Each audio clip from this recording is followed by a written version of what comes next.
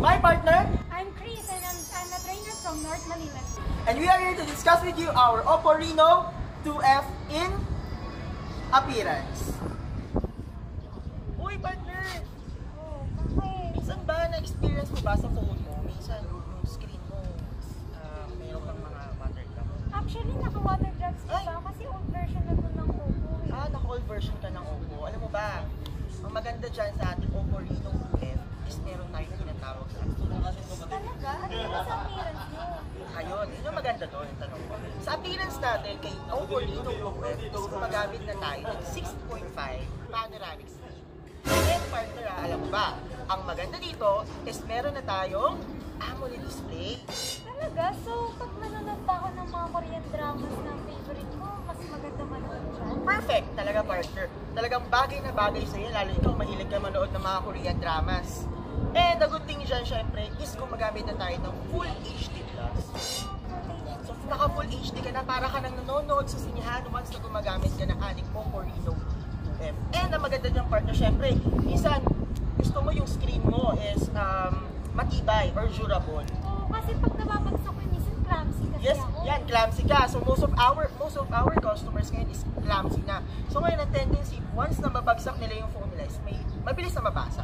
But the good thing with our Oppo Reno 2F, we're using ng Corning Gorilla Glass 5 for the glass. Diba partner, sobrang tibay. So wala na siyang kasing tibay na smartphone pag meron tayong Oppo Reno 2F. Partner, pakita ko lang sa'yo, eh, pa-experience ko lang sa'yo paano, paano mo, ah, paano ko um, mapapa-experience sa'yo yung um, appearance ng ating Oppo Reno 2F. So ganito lang siya. Open lang natin yung screen natin. Then mag-play tayo ng mga applications. Ganyan. Mag-open lang tayo ng mga applications. Or any games na pwede, or movies na pwede nyo ipakita kay customers natin. Then, hayaan mo si customer na i-experience yung pinaka-unit mo. So with that, masasabi natin kay customer that our Oppo Reno 2F is has a, a great um, viewing and gaming experience pag meron tayong 6.5 panoramic screen. Ano pa yan? Parang ang pangit na mag-take na selfie sa cellphone na to. Parang may konti ng options ko. Parang kailangan ko nata bumili ng bagong phone. Wala nang bago. Yun na nga, partner. Uy, partner. May narinig ako sa'yo parang gusto mo ata bumili ng bagong phone. Oo, kasi nagtitake ako ng selfie kaso ang labo na ng camera ko tapos nang dumaan ako sa cellphone. Yan. Ang maganda, partner, mayroon lang ko i-endorse sa'yo ang Reno 2F. Ano meron dyan sa rin? Yes, so dahil mahilig ka mag-selfie partner. So, ang maganda dito sa ating Oppo Reno 2F, meron tayong tinatawag na center still camera 2.0. Bago yun na Yes, center bagong still bago camera. yan, partner. So, ano ba yung bago sa ating center still camera? So, meron tayong center still camera. So, partner, okay lang ba? Pakita ko sa'yo kung paano siya gumagana yung ating center still camera. Makita yun. Yes. So, ganito lang siya, partner. Open lang natin yung camera natin. Then, as you can see, wow! Meron tayong center still camera 2.0. So, partner, ano ba yung bago dito? Ang galing naman yan. Umaangat na lang siya. Yes, umangat. So, yung dating mga smartphone natin, di ba, ang ginagamit natin is naka-water drop pa pag magti-take tayo ng selfie. But now, with our Oppo Reno 2F, so meron tayong center still camera 2.0.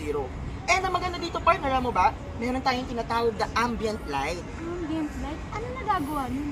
Yes, partner. Magandang tanong yan. So, ano ba yung ambient light na tinatawag natin ngayon? So, ambient light tinatawag natin is once na magti-take po tayo ng selfie, as you can see, meron tayong makikitang ilaw. Nakita mo, partner? Amazing, di ba?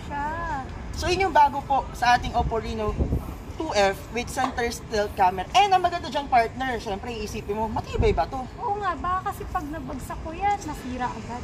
Pag nabagsak mo, ang maganda dyan, partner, mabagsak mo siya, nag-automatically po siyang nagre-retract. So with regards and durability partner, wala kang um, masasabi dito sa ating Oppo Reno 2F kasi talagang napakatibay niya. Ang galing naman pala niyang center still camera. Yes, ano pa natin mo partner, di ba? So meron ka ng center still camera and 2.0 and upgraded version pa. So yung mga concerns mo na yung phone mo is hindi na maganda pag take ng selfie. So with our Oppo Reno 2F center still camera, you can have a better selfie in one. Siya. Uy, may nabibideo ko. naman ng fingerprint nito. Kailangan ko na yata bumili ng bagong phone ah. Partner, yun na naman. Uy, Problem ka na naman sa phone mo. Uy, kasi yung, Ano problema? yung fingerprint unlock ko. Mahihirapan na ako kasi sa likod pa siya eh. Tapos nagahang na. Ah, nagahang na. So, ibig sabihin, mabagal partner, na siya. mabagal na mag-react yung fingerprint mo. And, yan partner, meron lang akong i-introduce sa'yo yung bagong product ng Oppo. Ano bagong yan? Oppo Reno 2F. Reno 2S? Ano meron dyan sa Yes. Ang maganda dyan, partner, yung concern mo na mahihirapan ka mag-unlock ng phone and hindi siya ganun ka taas yung security level. Okay? Kaya ating Oppo Reno 2F is meron na tayong hidden fingerprint 3.0. 3.0? Parang mabilis pa kayo Yes, ganyan, ah. 3.0 partner kasi mas mabilis na siya compared dun sa mga previous brand. Gano'ng Okay, kabilis na- mag-anak mo? Yes, ang maganda dyan partner, kaya niya mag-unlock up to 0.0, 0.3 seconds. Amazing partner, di ba? Sobrang bilis with your one one touch mo lang, you can unlock your phone. Uy, parang gusto ko yung Reno 2F na yan ah. Yes, so pag may ma'am. tumatawag sa'yo, isang click Yes, lang. ang click mo lang, you Mabilis. can unlock. Partner, pakita lang natin sa kanila paano natin paganahin ang ating Oppo Reno 2F. So, open lang natin ang ating setting. Fingerprint face password. Then, add lang tayo ng fingerprint. Then, magsiset ka lang ng password.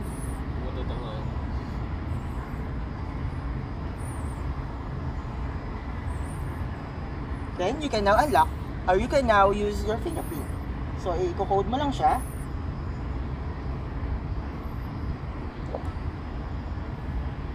So, with our Oppo Reno 12 hidden fingerprint, talagang mas i-improve natin to compare sa mga previous hidden fingerprint ng ibang brand. So, dito, even yung security level ng ating hidden fingerprint is talagang in-improve natin. So, meron tayong CF Lite na tinatawag dito na kung saan nga, yan sinabi ko, mas ini-improve yung security level ng ating phone comparing sa ibang brand or sa fingerprint na gamit mo ngayon partner. So, mas mabilis, mas secured. So, yun yung maganda sa ating Oppo Reno 2F in hidden fingerprint. Hi guys! Welcome back to my channel and I'm here to present to you our Oppo Reno 2F compared with our A9 2020. So guys, ano bang meron sa ating Oppo Reno 2F compared with A9 2020? So first start muna tayo with our A9 2020. Alam niyo ba guys, si A9 2020 is gumagamit siya ng 6.5 water drop screen 2.0. So upgraded version ng water drop screen ang ginagamit natin kay Oppo A9 2020. Then sa kaunting halaga lang na idadagdag mo, mag-upgrade ka na with our Reno 2F.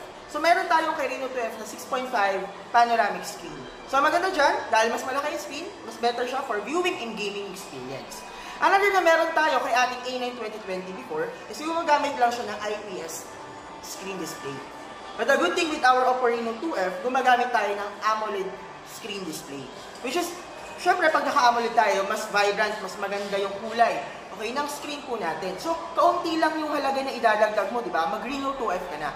Another, gumagamit din si ating A9 2020 ng HD plus resolution lang. So, ibig sabihin, medyo mababa yung resolution ng ating A9 2020. But the good thing, sa kaunting halaga lang, magdadagdag ka lang ng kaunting halaga, mag-upgrade ka na with our Oppo Reno 2F na meron ng full HD plus. Another, syempre durability. Isipin natin ang durability ng phone natin. Our A9 2020 used only full uh, Corning Gorilla Glass 3 Plus. Okay? Then with our Oppo Reno 2F, gumagamit na tayo ng Corning Gorilla Glass 5. So with regards sa durability, syempre, winner ang ating Oppo Reno 2F. So ano pang inaantay nyo, di ba? With regards sa appearance of the phone, mag-upgrade na tayo kay ating Oppo Reno 2F. Sa kaunting halaga lang na idadagdag mo, you can have a premium smartphone. Hi guys! So, meron tayong bagong dalawang product. So, sa Reno 2 and Reno 2F. So, ano nga bang similarities ng kanilang application? So, parehas silang may panoramic screen. Then, they are both using an FHD Plus for resolution. Meron din sila parehas na AMOLED display. Then, they're using both um, ang Corning Gorilla Glass for the display protection. Then, they have both using a advanced pop-up cameras. Kung makikita nyo. And the other one. So, ayan. Pareha sila may pop-up camera. And syempre, gumagamit din sila ng hidden fingerprint unlock 3.0. Ayan. So, yun po ang similarities na kanilang appearance.